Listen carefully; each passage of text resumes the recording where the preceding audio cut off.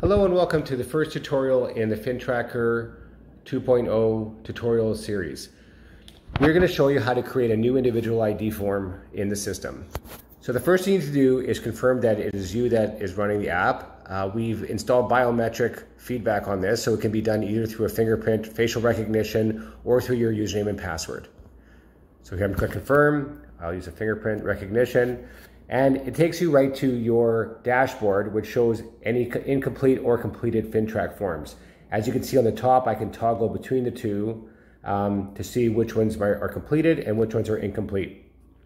I have no incomplete forms at this time, and so we're gonna start by creating a new form. How you do this is you go to the bottom right-hand corner and you click the plus sign. Now it'll ask you what you wanna create. In our case, it's an individual identification. Now we have the ID form that came up and uh, you start filling in the information. So the first thing I'll do is I'll, it's a, record is for a buyer. One of the things we've added in, in uh, version 2 is the ability to send an email to your client uh, explaining what FINTRAC's all about uh, and basically a disclosure form on why compliance is important and why we're collecting their identification for this purpose. So if I were to want to do that, I could put that in uh, right here. Um, I'm not going to do that, but, but that's where it would go in. And then you just click on send FINTRAC disclosure and it would send it to that email address. Another feature we've added in version 2 is the ability to create a transaction kit.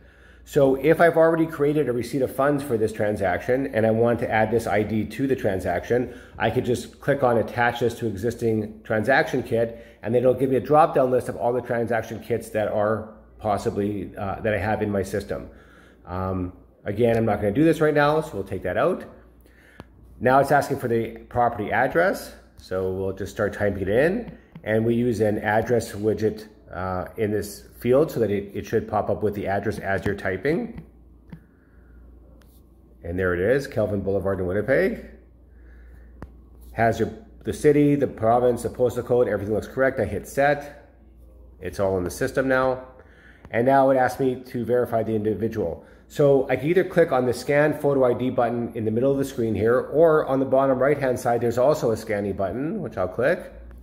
And this gives you information on how to scan. So if it's a driver's license or a provincial card, use the barcode on the back of the system. Uh, if it's a passport, you would scan the front of the passport.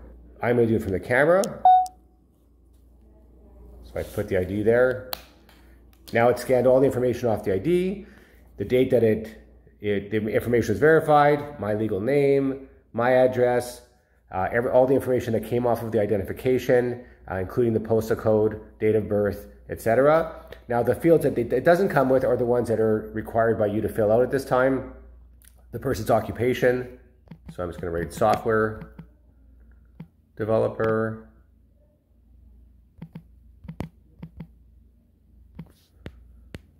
The employer is forward solutions, and the industry is software. It was a driver's license. It has all the identification of the driver's license. And we include not just the driver's license number, but also the number on the back of the card. Uh, you know, some, some, some people say you should be recording one, some people say record the other, so we just record both. It also gives the expiry date of the document. If this document had been expired already, it would not let me use it uh, as authentication for the system.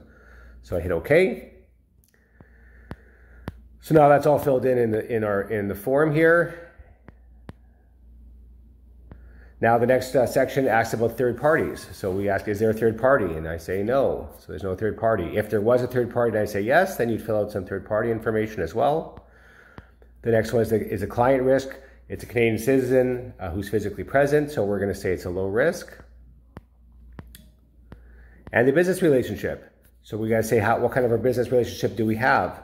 So the I'm acting as an agent in this uh, in this time for the purchase or sale of a residential property. And then ask me about my business dealings. I say, well, this is you know he has been a client for three years, mostly residential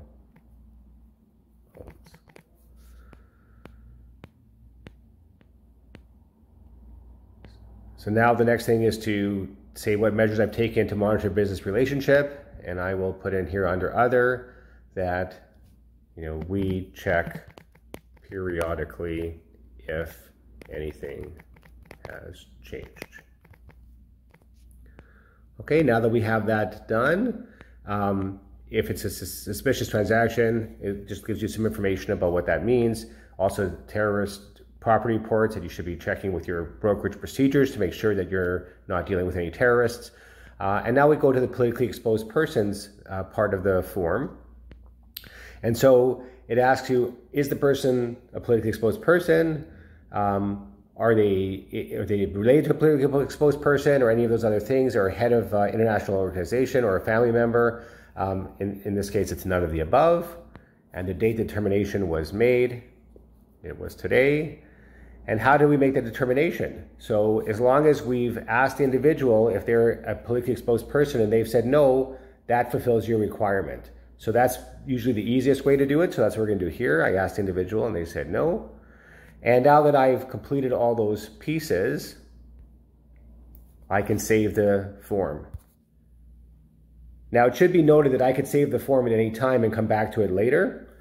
Now that I've saved the form, I can either edit, edit the record, I can add it to a, add a new record to the same transaction kit, I could submit the record, um, or I could view my records. So in this case, I'm just gonna keep it here in my records. I'm having it saved in my records. And so now when I go back to my records, it shows under incomplete forms, this individual ID that I just created.